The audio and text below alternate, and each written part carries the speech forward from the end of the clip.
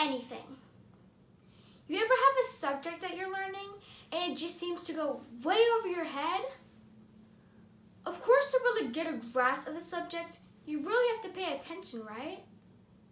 But for some reason, your attention keeps getting lost during the lesson. It's like all these dots around you and they're just not connecting. Is it because this subject is just extremely boring?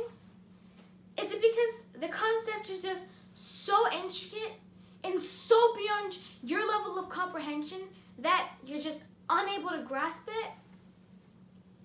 Well, one thing's for sure is we all learn at different paces.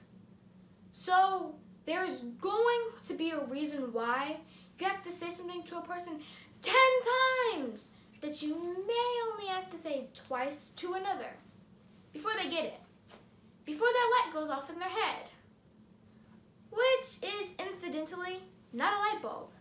It's actually an electrical impulse, which we'll talk about later. So, while it may be true that some people just have an affinity for learning certain things more than others, there's still a process that everyone has to undergo. I like to use muscle building as a comparison. So, you decide you want to start building muscle. You start training, you got your gym in your garage, your weights, and you're ready to start building some muscle. Of course, everyone builds muscle differently. We all have different body structures and types. So it may take some longer to get the same results than others. We are only working to be the next best versions of our authentic selves anyway. Yet, regardless of whatever your body type is, there's still going to be a starting point. Because reaching a goal takes discipline and drive. In this case, the word drive implies motion. It implies turning potential energy into kinetic energy. It's about taking the necessary steps toward the goal. It's about acting on that potential. It's about initiating that impulse. The very first part of the process is simple. You just have to begin. Now, that beginning may very well be easy at first and challenging later. That beginning may very well occur some point outside of your comfort zone.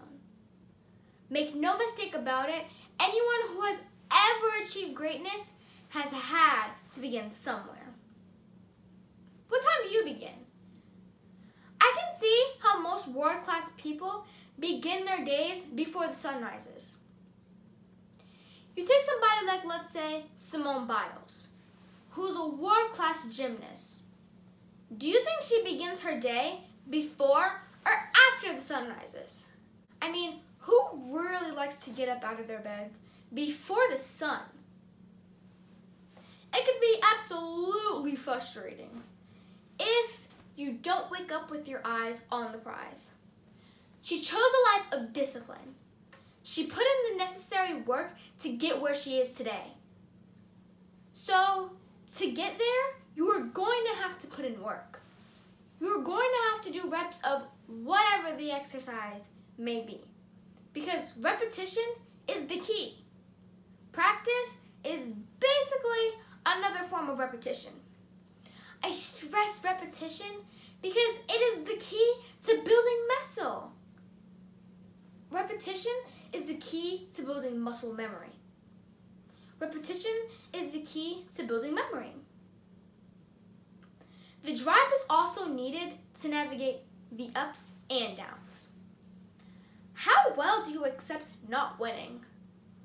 Do you allow failure to get in your way? Are you receptive to the necessary resistance that's needed to build you up? Sometimes we need naysayers.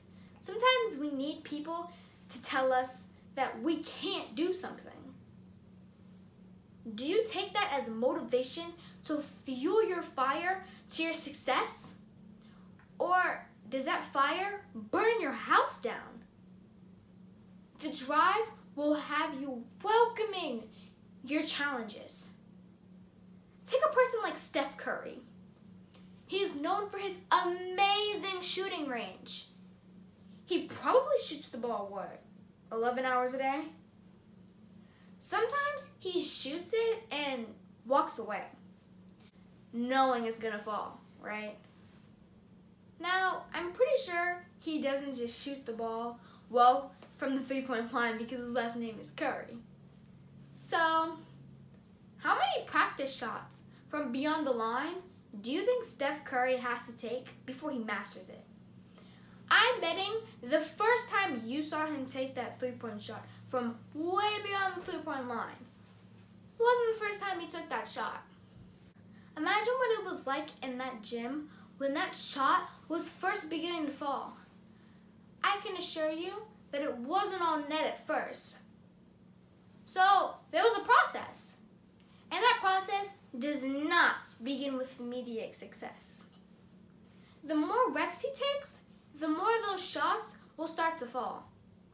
And after they did begin to fall, automatically, imagine the physical changes his brain went through to accommodate that shot. How many reps before the subconscious mind starts to access the automated muscle memory? This is all by a way of repetition, which enhances your synaptic efficiency. So, the physiology of learning has two phases. Let's take a look at phase one of long-term potentiation. So, as we know, memories are formed in the structure of the brain called the hippocampus. When we look at the synapses of the hippocampus, we see presynaptic and postsynaptic neurons. When the presynaptic neurons release the neurotransmitter glutamate into the synapse, they bind into two specific ion channels called AMPA and NMDA. What makes these ion channels special is that they change chemical messengers into electronic impulses. So, glutamate binds to AMPA and NMDA and lets the sodium into the AMPA channels.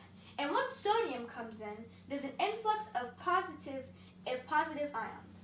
And once, po and once the sodium comes in, it's really, really positive.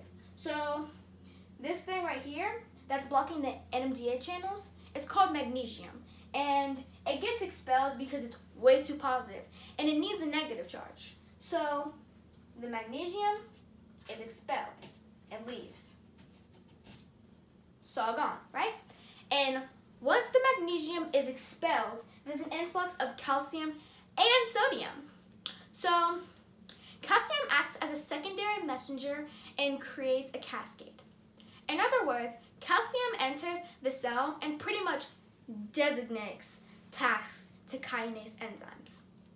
And so these kinase enzymes basically function to ensure a high frequency of sodium influx, which keeps the cell excited. So the influx of sodium increases the strength of the signal enough to accomplish phase one of long-term potentiation. And so like muscle building, the ultimate goal in long-term potentiation is to create some kind of physical change, or in this case, achieve neuroplasticity.